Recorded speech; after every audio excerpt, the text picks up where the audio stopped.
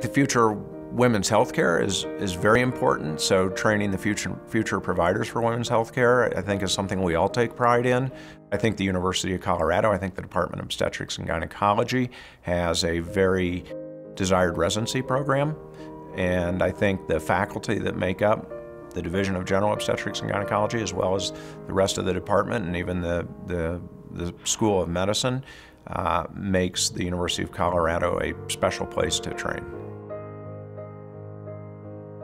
I was here as an, a medical student and rotated just on a brief four week elective. And while I was here, I knew that this was my dream job and where I wanted to be.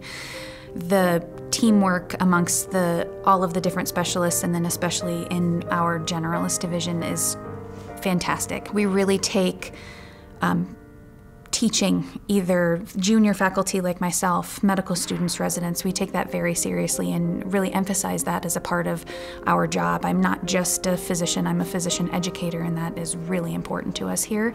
And one of the most important reasons that I, I wanted to stay on after my residency and why I kept working here. I think what I would say about our generalist division at the University of Colorado is that it is basically it offers you whatever opportunity you're willing to pursue. You have to identify what's important to you, but once you do that, basically the sky's the limit.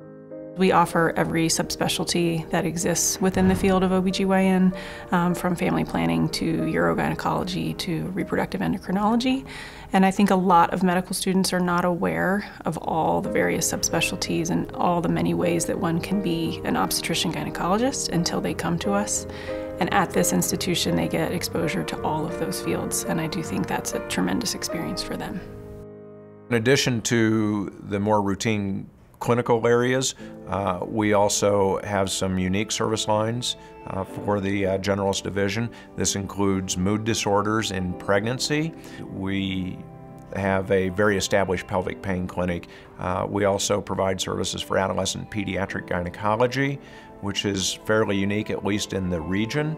My special interest is in pediatric and adolescent gynecology. We have our residents rotate through, and I think it's one of, I routinely get feedback that it is one of their favorite rotations because they just don't get to see children or even young adolescents. And how to do a confidential interview, how to ask the mother to step out of the room, how to ask those very private and personal questions, which really gynecologists need to do on a daily basis if they're treating a younger patient, not just the complex conditions, is really vital to their training. And I think that's where we really can provide value to the gynecology resident. At the University of Colorado, we have a year long program that all of our residents participate in for simulation. The goal of simulation really should be to address either procedures that are very rare and high risk or that have complicated equipment, just to get our residents exposed, um, either to increase their volume and knowledge or to have some experience with the equipment in a low stakes environment. And so each month there's a new simulation that the residents rotate through. And some of those are complicated obstetrical laceration repairs, complicated laparoscopy, and then operative hysteroscopy. We've grown into a very large uh, but very comprehensive uh, clinical enterprise and I think we've also been very successful in recruiting and developing careers for our junior faculty, which is really important. And I think that's why people choose to stay in an academic career or at a teaching institution like this as full-time faculty members. The general division of OBGYN at the University of Colorado I have found is incredibly supportive of um, once you identify a clinical interest, if you want to delve deeper into that clinical interest. So they've never limited us. If I say I want to do just vulvar disease, then Dr. Thompson, as our division director, is very supportive of allowing us to pursue that. Meaning through that, he offered me the opportunity to pursue a more research intensive career.